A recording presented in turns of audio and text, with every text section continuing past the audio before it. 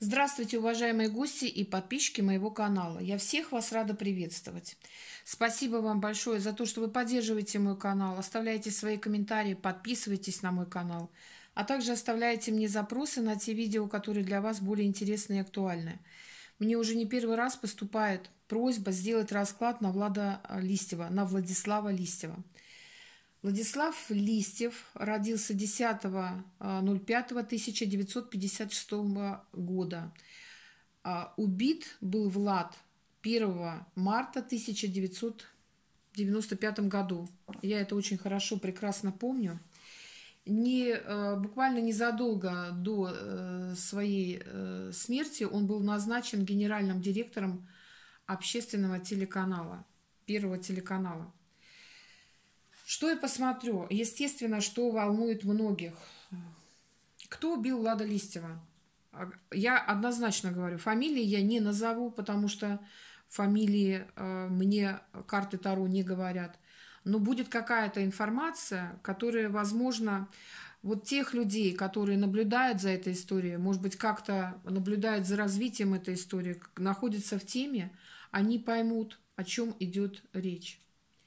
Первое, что я буду смотреть, было ли это убийство связано э, с рекламой, и было ли это убийство связано с его должностью. Буду так. Если вам понадобится индивидуальная консультация, под данным видео будет находиться номер телефона, куда вы можете написать на Viber, либо же на WhatsApp.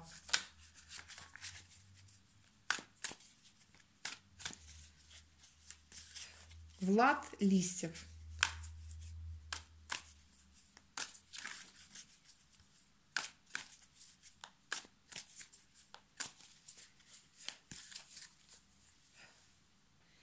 Я надеюсь, карты мне помогут. Было ли это как-то связано с рекламой?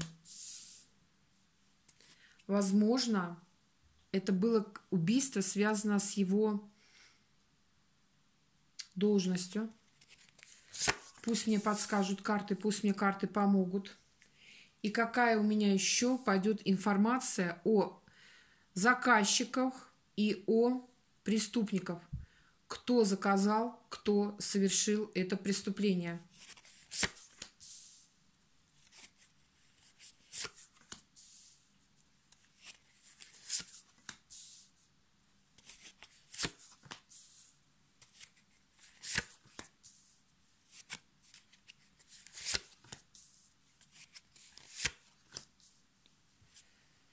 Так, если мне понадобится дополнение, я посмотрю.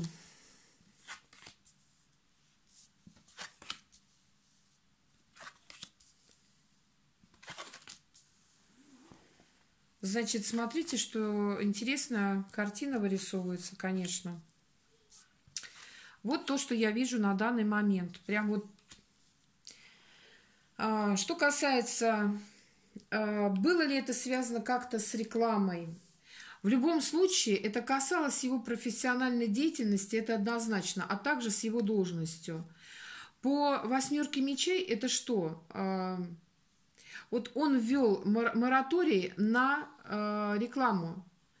А вот что касается, то есть запрет, это карта запрета, но это не было как-то связано с его именно как раз-таки а, с рекламой.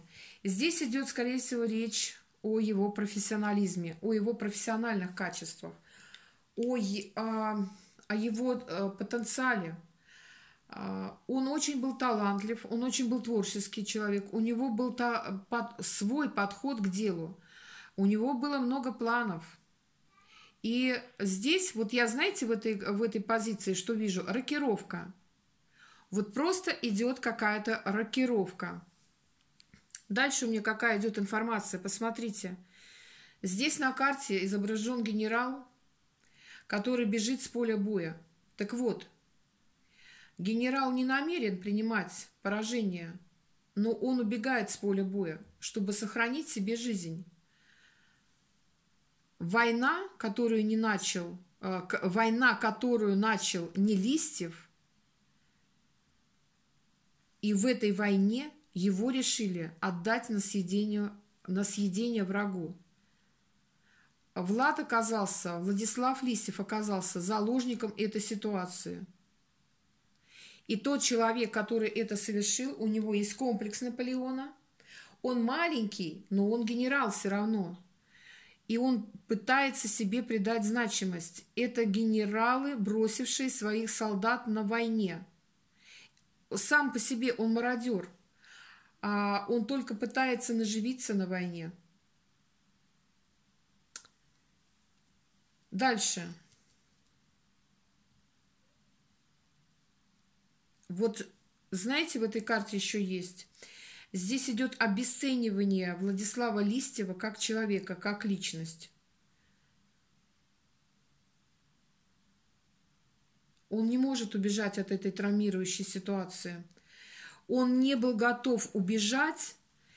И здесь идет речь, знаете, здесь опять, как говорят, одним выстрелом убили двух зайцев. И убив Владислава Листьева, они получили огромную выгоду. По карте правосудия я могу однозначно сказать, это связано с грязными какими-то э, секретными делами этих людей. Они его стали бояться. Эти люди стоят на особом положении, им законы не страшны. И смерть тому, кто впадет к ним в немилость. А, Владислав владел какой-то информацией. Возможно, впоследствии эту информацию он хотел обнародовать, потому что он занял большой пост. Я здесь не вижу, что речь идет о, э, о рекламе. Нет, нет, нет. Здесь, здесь что-то, что даже может быть лишь лежать на поверхности, но на это не обращают внимания. И вот в этой позиции, конечно же, Владислав отверженный. Те люди, которые до сих пор э, эту историю знают, я, знаете, так могу сказать, люди знают, кто его убрал. И все знают. Они не хотят это официально говорить об этом. Он оказался отвергнутым. Он оказался один против всех. И он сам себя загнал в эту ловушку. Он был слишком принципиальным. От него что требовали? Полного подчинения, полного подчинения, полностью. Владислав погрузился в свою работу, и это привело к внутреннему выгоранию.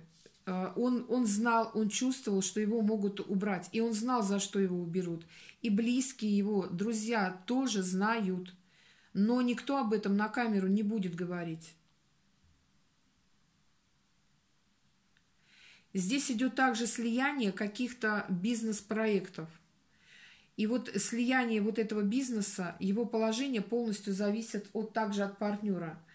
А смерть сама по себе, карт, э, карта смерти. Видите, на карте э, смерти она идет беременная, но она давит э, своего ребенка, который уже родился. Этот ребенок плачет, но смерть его раздавила а незаменимых нету. А, как раз-таки найдутся люди, которые будут более сговорчивые, которые будут служить власти, которые будут угодны власти. И Владислав был слишком принципиальный, он был профессионал своего дела, он не хотел стоять на коленях у тех людей, которые нарушают законы. И не просто. Здесь еще речь касается, это было что-то связано с экологией и с химикатами, э, с какой-то катастрофой. Я не знаю, что это, но вот в этом вот направлении нужно искать нить. А откуда дует ветер и какую информацию, что это было связано все равно. А, что-то, возможно, у Владислава были какие-то документы на руках. Но могу сказать так, это сделали люди военные. Это не сделали люди штатские. Это сделали военные. Люди, которые до сих пор стоят у власти. Я также могу вам сказать, что вот я посмотрела его число фатум. Здесь знаете как? Вот если бы он выбрал ту позицию, которую ему предлагали, он бы остался жив но он пошел на, понимаете, человек принципиальным. А, у него было глубокое эмоциональное переживание, и он стоял как будто на развилке дорог. А, и для него выбор шел как испытание. Есть причина, есть следствие. Могу однозначно сказать, в этом преступлении замешано шесть человек. трое были исполнители. Раскроет ли это преступление? Когда-нибудь мы узнаем имена э, людей, которые конкретно замешаны в этом преступлении.